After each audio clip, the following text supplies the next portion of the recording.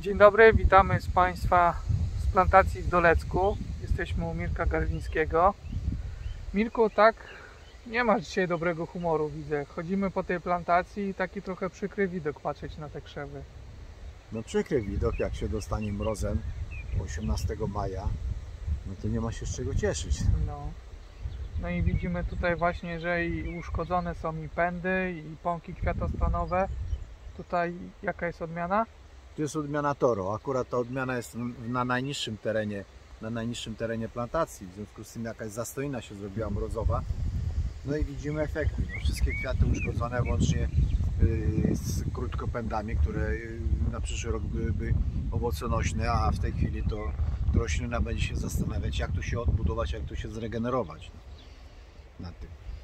No rozmawialiśmy jeszcze parę dni temu, cieszyłeś się, zapraszałeś mnie tu na piękne kwitnienie, a tu jednak aura i pogoda pokazały, co potrafią No, zrobić. nie? 17 mieliśmy się spotkać maja, a y, kiedy plantacja pięknie kwitła, 50% praktycznie było w, w kwiatach i odmian, i, i kwiatów na odmianach. No a następnego dnia mróz i, i, i tragedia, masakra. Nie? No Choć, to- jestem, choć jestem zaskoczony niektórymi odmianami, że sobie doskonale zda, dały radę. Odmiana Blue Gold. Oczywiście wszystkie moje tradycyjne późne odmiany.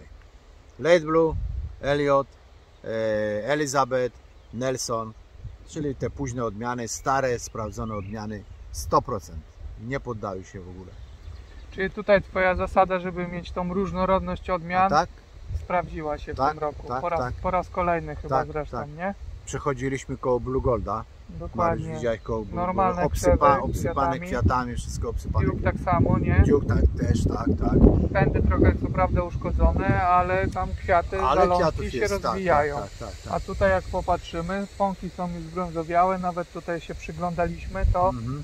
to jednak zalążnie są zmarznięte, czarne, także Tak, tutaj tak. już nie nie, będzie nie, tego to już, nie, to już nie będzie, to już po prostu krzew będzie się regenerował na, na, e, za dwa lata. Tak? No Bo na, Dokładnie, trzeba, na przyszły trzeba. rok on sobie już nie, nie odbuduje sobie krótkopędu, które tutaj możemy pokazać, prawda? Przemarznięty krótkopęd. Ten krótkopęd powinien być na dzień dzisiejszy mniej więcej taki, on jest przemarznięty, zmarznięty. Krzew będzie kombinował, gdzie tu wypuścić następny. Ale to ma stracony miesiąc czasu, prawda? Na, to jest e, owoconośny krótkopęd na przyszły rok. Jak to sobie teraz e, krzew wykombinuje, żeby, e, żeby, żeby e, mieć owoc na przyszły rok i odbudować się, nie wiem, będę patrzył, obserwował. Najwyżej zrobimy jakiś, jakiś film e, e, w sierpniu, Pokażemy jak te krzewy później jak się wyglądają. zregenerowały, prawda? Także to jest chyba tego, że nie wszystko złoto co się świeci. No oczywiście, to Patrzymy czasami na piękne borówki, Tak, zazdrościmy, tak, tak. niektórzy może zazdroszczą plantatorom tej ceny, tego tonażu, tego owocu, tak. ale jest tak. to też ogromny nakład, ogromny stres. No i jak widzimy ryzyko, że są lata, kiedy tego plonu nie ma. No to jest ryzyko, to jest ryzyko e, produkcji pod chmurką. Jak, Dokładnie. jak koledzy już byli przestraszeni, e, koledzy borówkarze byli przestraszeni w tym roku, że co to będzie, co to będzie, tyle kwiatu, tyle zawiązek kwiatowych, co to będzie, to ja mówiłem, porozmawiamy październiku. Dokładnie. Jak się zbierze, jak, Jak, się, sprzeda, zbierze, sprzeda i jeszcze pieniądze wpłyną na rachunek, albo do ręki, albo do Dokładnie, kieszeni. To dokładnie. wtedy sobie pogadamy, mówię, nie, nie ma się na razie co emocjonować, bo przed nami są jeszcze i przymrozki, i jakieś mokre e, dni, czy, czy całe miesiące w, w trakcie zbiorów, gdzie mogą zniszczyć, I prawda? burze, i grady I burze, czasami, grady, prawda? Także grady, tych tak, tutaj tak, tak. niespodzianek jeszcze może być w tym. Niespodzianek może być dużo, także nie ma co przeżywać e, tego, że jest duże opąkowanie. Zawsze może coś być.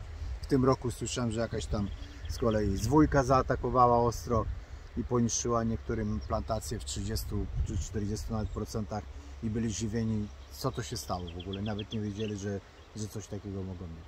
Także Ten rok się zapowiada, tak jak powiedziałeś, taki wybitnie szkodnikowy, także trzeba Mhm, tutaj mhm. naprawdę być czujnym, Tak, bo tak. czasami te szkodniki, które takie pojawiały się, a nie były groźne, mogą w tym roku naprawdę zaskoczyć, tak samo jak i misecznik. Nie wiadomo co Tak. będzie z muszką drosofilną, tak? No, właśnie. bo to, No to też może być spory problem No, sezonie. no właśnie, no właśnie, z tą, z tą muszką w zeszłym roku nie była, Yy, no to w tym roku pewnie będzie. Yy, Nie było zimy, w, ubiegłym roku była zima, prawda Mariusz? Dokładnie, Stopni, z- dokładnie. minus Konkretna- 20 czy 20 parę stopni przez wiele tygodni ze śniegiem. Czyli taka zima konkretna dla naszego klimatu tutaj i dla naszej strefy geograficznej. W tym roku tego nie było i na konferencji, nawet, y, gdzie miałem ten swój y, referat i wystąpienie, powiedziałem, zimy nie było, więc będą problemy z przymrozkami, ze szkodnikami, z insektami. No i, i, już się zaczyna. No dokładnie. Już się dokładnie. zaczyna. Miseczki się pojawiły na potęgę. y, y, Przymrozki wtedy, kiedy już y, nie powinny, bo no, tradycyjnym, najpóźniejszym terminem to jest zimna Zośka, czyli 15 maj. I ja tu słyszę od kolegów 19 maja czy 18, tak jak u mnie przymrozki typu minus 4-5 stopni, no to, Mhm. No to już jest mróz praktycznie. Dokładnie. Teraz jeszcze cały czas chłodno, nie ma tego ciepła, Tak, więc te tak, rośliny tak, nie weszły jeszcze w Tak, taki pełny tak. rozpęd, Tak, e, żeby, żeby rosnąć, żeby ten. No ale dobrze, no tutaj patrzymy, inne odmiany zapowiadają się dobrze, także Mirku mimo wszystko jakoś tam może ten sezon się uda przetrwać Tak. z dobrym wynikiem ekonomicznym na koniec. Mariusz, tak jak zauważyłeś, co ja zawsze mówiłem, że trzeba mieć dy- dywersyfikację. Dokładnie. Wczesne, średnie i późne. Dwa lata temu, kiedy mnie przymrozek skasował i też, a wielu kolegom to jest 100% nawet na plantacji skasował, to mnie skasował tylko e, Wczesne wczesne, odmiany, odmiany. dokładnie, Środkowe, pamiętam. późne miałem. Pamiętasz, prawda? Mhm. Pamiętasz to. E, Gdzie tam w ogóle z, z, zero owoców było, tak? Ale średnie i późne y, 100% i poszło. No. Także dywersyfikacja, e, jeżeli chodzi i o odmiany, i o okres dojrzewania, i o okres kwitnienia, i o okres dojrzewania, okres zbioru, bardzo istotne jest. Bo nigdy nie wiemy, sadząc e, jakąś tam odmianę na naszej plantacji, nigdy nie wiemy, jak e, to siedlisko, to stanowisko, Przypasuje, Przypasuje tej danej odmianie. tak? U kolegi tak jest. 30 km dalej będzie super, tu może być e, bardzo kiepsko. I na odwrót, tu może być super, tam kiepsko. Kiedy moi koledzy wyrywali i powyrywali Nelsona, to ja się dziwiłem, po co to robicie? A tu Nelson co roku jest mi wierny i stara, stara e, odmiana sprawdzona. I gdybyśmy się przeszli tam na Nelsona, to byś zobaczył, że e, zero uszkodzeń jest. Zero uszkodzeń.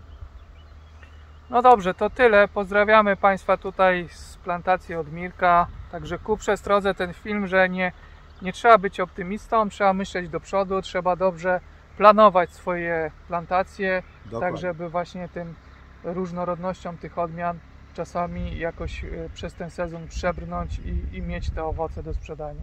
Dokładnie. Pozdrawiamy serdecznie Pozdrawiamy. z Dolecka. Do zobaczenia.